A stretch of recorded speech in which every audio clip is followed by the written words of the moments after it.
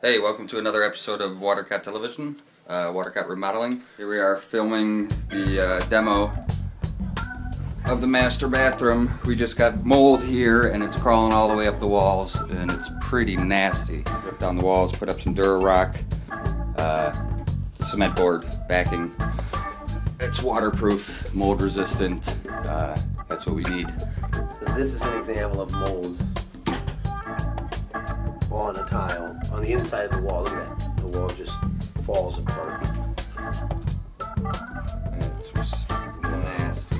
Nasty. I'm glad fixing it. I just got done taking out all the the old walls. This was our trouble spot here. A lot of mold getting back in there. We're gonna spray it down real good with bleach, clean it up. These are still real solid, these things, so I don't think that's, I think once we uh, spray a lot of bleach on there and kill all the mold, alright. So I'm gonna put up the Durarock and then uh, move on to the tile.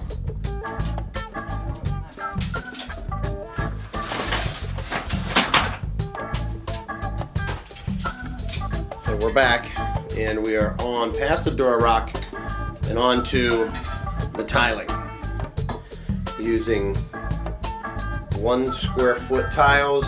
We're scraping the bathtub. That's uh, quite a bit of work. Amazing job.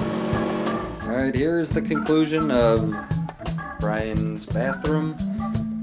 It was ripped down to the studs. We Durarocked it. Uh, we tiled it.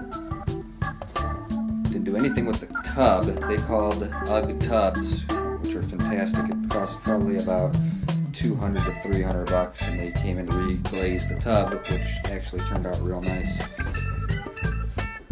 And uh, finished up the baseboard work grouted, and uh, pretty much pretty much sums it up.